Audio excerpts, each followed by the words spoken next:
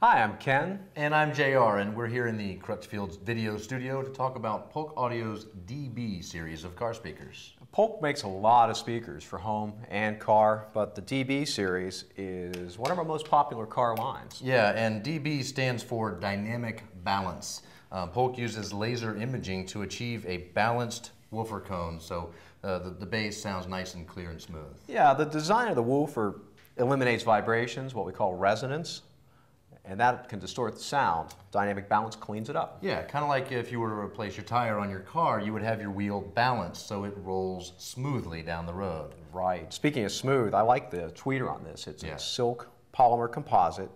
Gives you nice, smooth, detailed sound. It also has a, uh, magnetic fluid around it, which dissipates heat, keeps the sound clear and detailed even when the volume's cranked. Yeah, and Polk really wants to make sure their speakers fit most vehicles on the road, and they do. One of the only 5 inch speakers, for example, is made by Polk. And uh, here's a nice bonus about the DB series. They're certified for marine use. Nice. So if you're thinking about putting some speakers into your boat, you've got something that's going to work for you here.